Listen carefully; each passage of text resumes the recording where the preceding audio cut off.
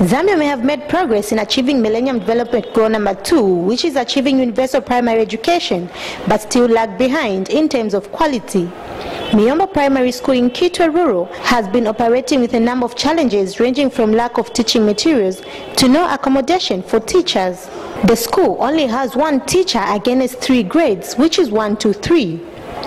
This teacher cycles for about 1 hour 20 minutes to reach the school. Yeah, uh, of course, yes, it's not supposed to be like that. But then, when the head talks to the DEBS, we were promised that they recruit to the teacher next time they consider us. But then they said, but then if we give you teachers, the challenge is that that school does not have houses. And there is no place here where a teacher can rent a house. How are they going to be accommodated? So the issue is if at least some, some accommodation has to be put in place and then even if, more especially if they were to bring youngsters to come and teach here, they will still run away. Due to lack of teachers, the headmaster and his deputy are also forced to teach.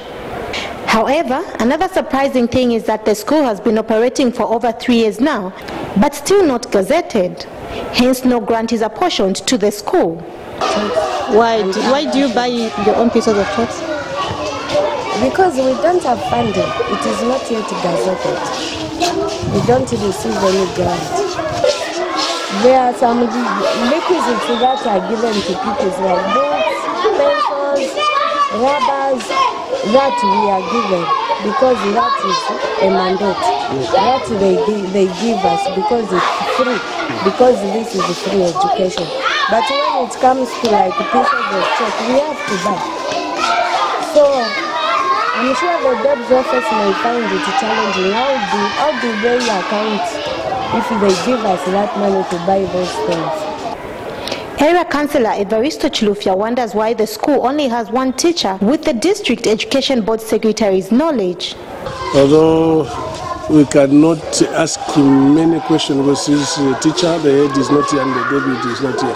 But uh, I'll make a follow-up to see the DEBS because what I fail to understand is that if they are posting the teachers, why is the school not gazetted? Eh? As a person who's not a teacher, I fail to understand. If teachers are being posted, which means they are getting a salary for being employed at uh, Miombo, is it? Yeah. So why is it that the other requisites are not being given? For the teacher uh, to work, he has to have a job. So it's a very sad situation that a, a teacher from your own, you know, from our own salary has to sacrifice to buy chocks.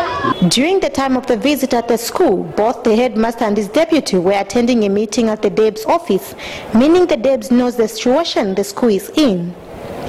Dines Nyoendas Kamoya, Muvi TV News, in Kitwe.